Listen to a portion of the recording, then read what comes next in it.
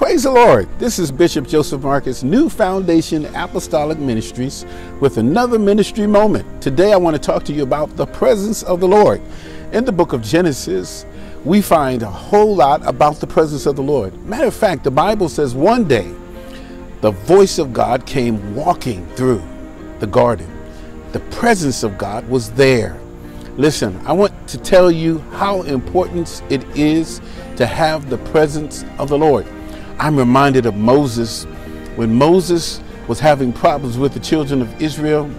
He spoke with the Lord, and the Lord told him he was going to send his angel. But Moses said, No, Lord, please, I don't want to go without your presence.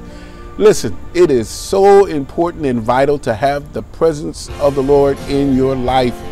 The Bible says, In the presence of the Lord, there is fullness of joy, and at his right hand, there are pleasures forevermore.